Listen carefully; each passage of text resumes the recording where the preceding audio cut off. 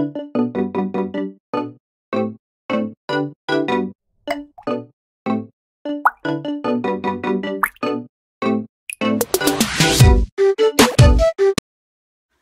and welcome back to this week's episode of The Cause Couch.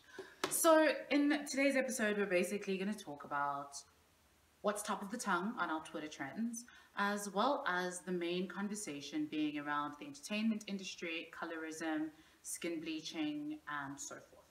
We're talking about this because Khanyi Mbau recently posted a picture of herself in front of a yellow Porsche and she thought she looked yellow, but she looked pink. But I see what she did there was trying to do yellow Porsches, yellow bones, I don't know, something along those lines. But basically, that's the topic of discussion today. So for those of you that want to hear top of the tongue Twitter trends, stay tuned because that is going to come up. But if you want to continue with this conversation on colorism, the entertainment industry, and Khanyi Mbau's comment, please remember to continue the conversation on Twitter. That's that by continuing to use the hashtag conversations for a cause and hashtag connect to educate. And also remember to tag at cause couch. I'm your host, Bonolo Moloi. You're also more than welcome to welcome to follow me on all socials. That's at Nolo Moloi.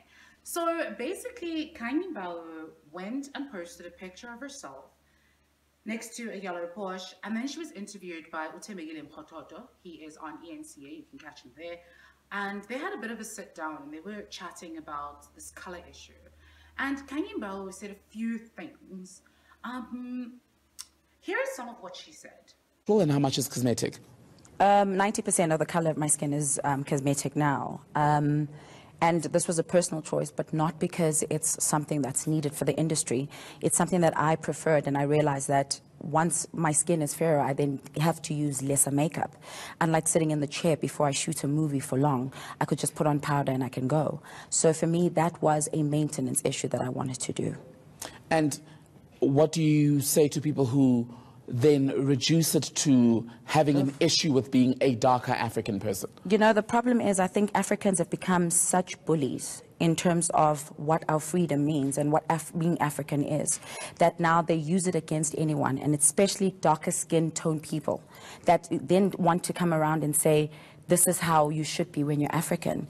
But why did we fight for freedom if we can't express our freedom in the way that we feel? And it doesn't mean when you're black you should be in beads and you should look ethnic in a certain way. You can become anything that you want.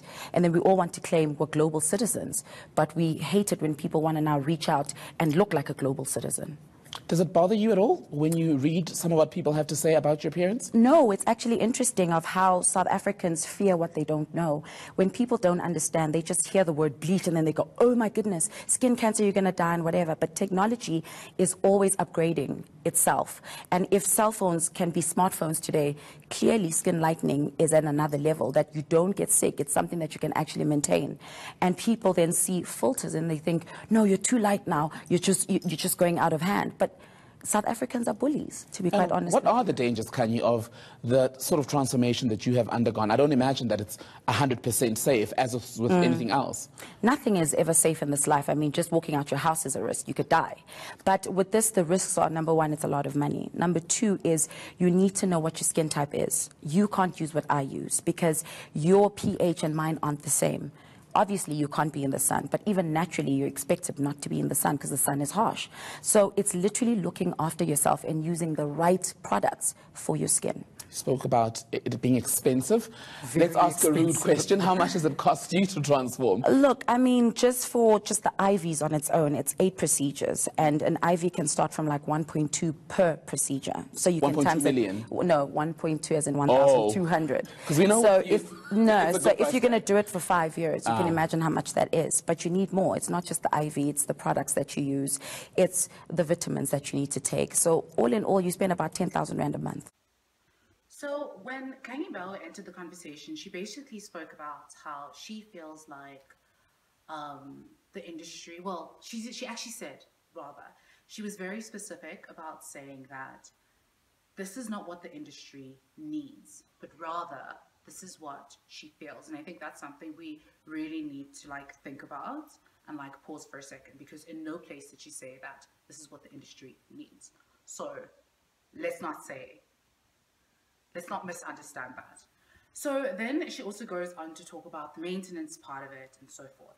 And I am just like, okay, firstly, it's literally been scientifically proven that people who have darker skin or more melanin are less prone to uneven skin tone, blemishes, scarring, and so forth, which naturally and obviously would mean that they would need less makeup. I mean, duh. And so the maintenance issue, saying that it takes less time to do your face because you're lighter, is a lie. And I just feel like, you know what? If she doesn't believe me, she needs to get herself some white friends and then she'll realize that, you know what? We're all in the same boat here. So that's that, first of all. And then she says it costs her 10,000 Rand a month. and she says that this is part of the maintenance, right? So, like, you know, how we have our budget with our hair and our nails and our clothing and our toiletries and so forth. This is just her face. Guys, it's literally just her face. So she's saying that that is absolutely not an issue to maintain. To do her face is not a big deal. That's normal maintenance, part of her taking a shower budget. Take it or leave it. That's what she does for who she wants to be. So that 10,000 Rand though is actually the same price as an online accredited course um, for a year, basically proper tertiary education. That is what it costs to do her face. So just think about that one for a second. So that's that on maintenance. And then Khanyi, you ended up going on about the fact that yes, sometimes I think believe in them see listen to this because personally I feel like Khanyi Mbau, I absolutely love you. In all the interviews that I've seen you in, you've been the realist, which I know is so ironic because you look like a Barbie, but you've been very real. But then when you went on to say that it's not your responsibility to for girls or for you to raise other people's children, I feel like you need to check yourself. I feel like that statement was so irresponsible. There's so many girls, women, young and old, that actually look up to you and want to aspire to you. Are you basically telling your daughter that she shouldn't, that if she wants to be accepted by the world, she should do whatever it takes, even if it means risking her health and like her whole entire life? Really? Um, yeah, I think that is not cute. It's not cool at all and something that needs to be dealt with properly. Um, I think we actually need an apology for that. Yeah. If you think we need an apology, please like, subscribe, and retweet.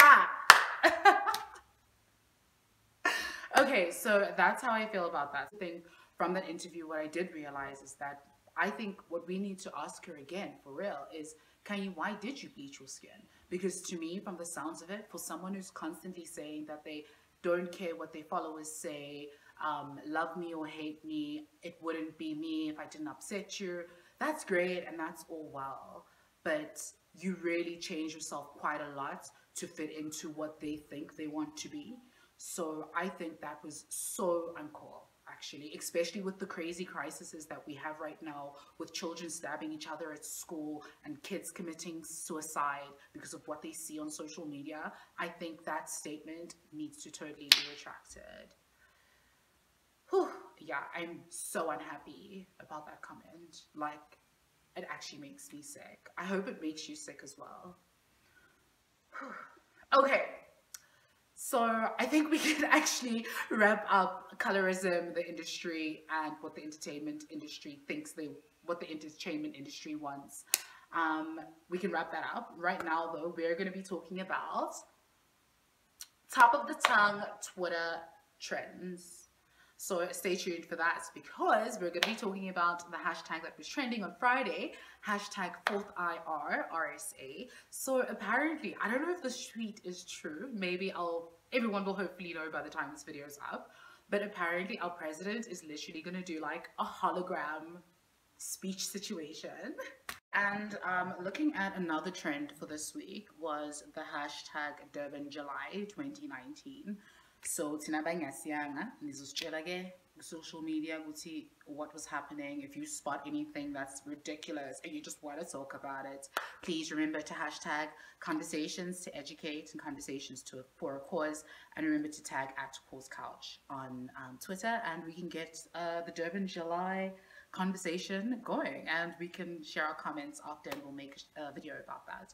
So that was another trend that was there. So going into the fourth industrial revolution, South Africa, hashtag, um, the honest truth is it's still going on right now while I'm making this video. And um, there's a lot that's happening.